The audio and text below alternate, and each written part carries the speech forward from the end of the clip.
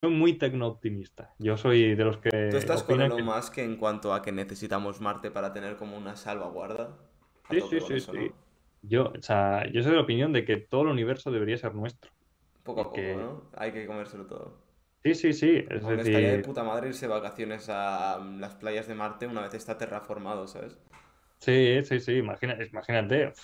Pero claro, no- nos falta tecnología aún, pero cuando podamos hacer saltos temporales o cosas de esas, Hmm. claro, es que a mí todo eso me flipa, que es ciencia ficción. Bueno, espérate, ¿Cuánto tiempo, no?